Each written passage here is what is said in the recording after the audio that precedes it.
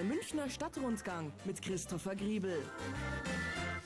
Damen und Herren, ich begrüße Sie heute wieder zu einer kleinen Architekturkritik zusammen mit Jürgen Opitz und Martin Benath, heute auf Giesingshöhen. Und Sie wissen ja alle hier, Giesing ist natürlich schon geschichtsträchtiger Münchner Grund, wo man sich, wenn man dann architektonisch tätig sein möchte, ja, wie ist das eigentlich so, Herr Opitz, wenn man sich ja. so historisch, auf historischem Boden bewegt?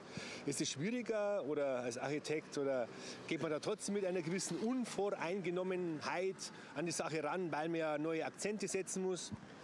Ja, muss man sagen. Also äh, ganz unvoreingenommen geht es natürlich nicht, weil äh, man möchte ja auch einen Auftrag bekommen.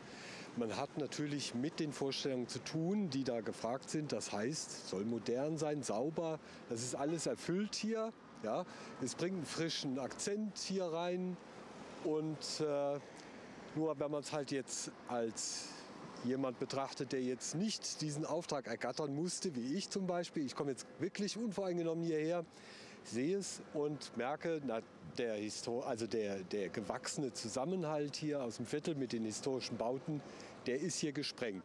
Du hast doch aufsteigende Linien da hinten, das heißt mit dem kleinen Giebel, dann dieses schöne so rosa-orange irgendwie, dann daneben so Außenfassade, irgendwelche seltsamen äh, Betonsteine und jetzt hier so als Krönung ein quadratisch praktisch gut bauen. Ja, quadratisch. Was, äh, Sie sagen das Stichwort. Also was ich hier sehe, das ist halt ein Bau, der äh, im Grunde genommen nur aus Hell und Dunkel besteht. Äh, die Senkrechten, die sind natürlich alle unterbrochen, weil das hat man heutzutage so, dass die Fenster gibt es nicht mehr übereinander in dieser Zeit, in dieser Architekturmode. Und ähm, ja, was ich aber sehe, ist, äh, dass der Bau halt äh, im Grunde genommen gar nicht wirklich da ist. Ja? Der sieht aus wie ein Gedanke, der ist nur schwarz-weiß und ist eigentlich nur ein Raster. Das, ich habe den Eindruck, das wäre irgendwie wie so ein Blech, das eingestanzt ist. Und das ist halt, das steht da jetzt, aber es hat keinen Bezug zu irgendwas. Herr Behnert, ein Architekturgedanke, der nicht ganz fertig gedacht wurde, sehen auch Sie das so?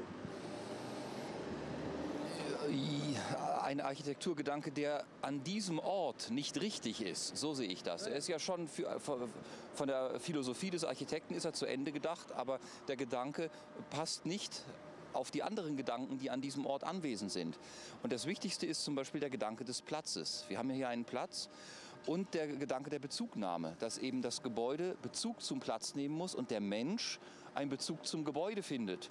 Aber hier hat das Gebäude eigentlich den Bezug nur zu sich selbst. Es sagt, er hat da eine schöne, schöne eingrenzende Wirkung zum Platz hin. Hier ist der Platz vorbei, passt der, jetzt bin ich da, oder? Genau das ist der Gedanke, der hier nicht hingehört. Ach so. Sie hätten lieber, dass sich ein bisschen was Niedriges und dann nach hinten höher werden, das hier manifestiert hätte. Äh, das kann man nicht sagen. Es, äh, die, die Form selber, es geht ja eigentlich um Gestalt. Wir suchen eine Gestalt, zu der ich eine Beziehung finde und sage, das gesamte Bild ist stimmig. Und hier ist ein Platz, an dem ich mich wohlfühle, über den ich mich freue, wo ich gerne hingehe. Und äh, diese Stimmigkeit ist nicht erreicht.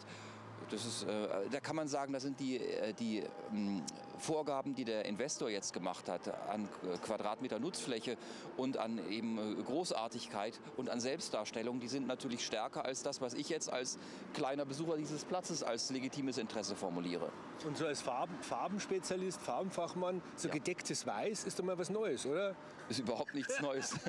Aber jetzt, was die Farben angeht, ja, äh, durch die weiße Putzfassade äh, ist ja der Kontrast zu den dunklen Fenstern umso größer. Und deswegen wird das farbige äh, dieser also deswegen wird diese grafische Wirkung erzeugt. Und wir haben jetzt mal einen Vorschlag gemacht, wenn man die Farbe etwas abtönt, nimmt man den harten Kontrast und dann schafft man auch mehr Zugänglichkeit. Dann ist das Gebäude nicht mehr so autoritär wichtig, sondern dann nimmt es mehr Bezug zum Empfindungsraum des Menschen. Wir haben ja den Entwurf mal gemacht. Also noch ist es eine weiße Front mit schwarzer Löcher. Spielt, das ist im Obergeschoss wird etwas heller.